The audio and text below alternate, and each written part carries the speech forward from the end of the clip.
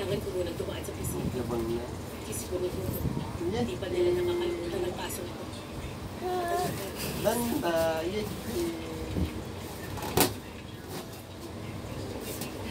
Magandang hapon. Jen Jen. Pasensya na. Pakitignan mo ito. Ano ka ang tindihan mo? Pakitignan na lang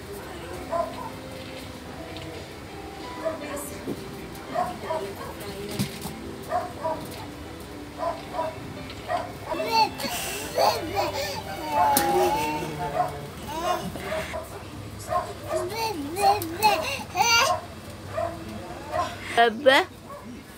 Yun nga ang dahilan kaya siyang naging team leader nito task force na to. Okay, that's right, guys. Meron tayong isang bagong recruit.